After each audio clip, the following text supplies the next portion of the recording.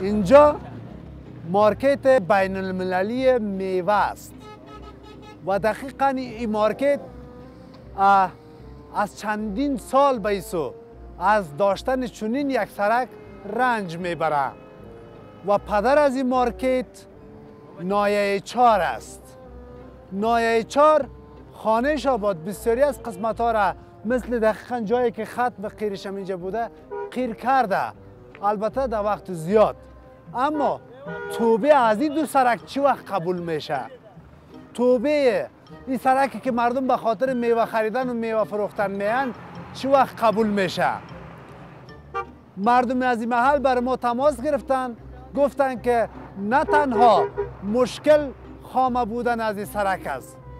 نه تنها خراب بودن از سرک مشکل است بلکه کراچی هایی که در سر سرک مبرویه نیز یکی از مشکلات اینجا است.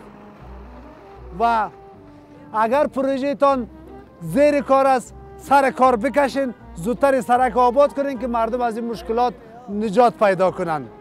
اگر شما هم از این قبل مشکلات دارین یک آدرس دقیقه با 4 5 6 زنگ بزنین کلید 6 دو 8 فشار بتین. بر ما بگوین ما خود در اون منطقه میرسانیم و این رقم یک گزارش تهیه می‌کنیم. تشکر. شبکه خنده.